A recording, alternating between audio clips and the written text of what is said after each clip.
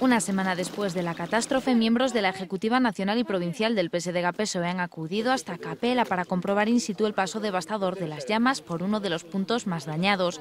Una visita que duró escasos minutos y que sirvió para exigir responsabilidades a la Xunta. A todo de agora só temos declaracións acerca incendiarios, eh, acerca dos plans de regeneración, pero ningún plan concreto, ningunha eh, data para iniciar os traballos, ningún orzamento, é dicir, ningunha concreción.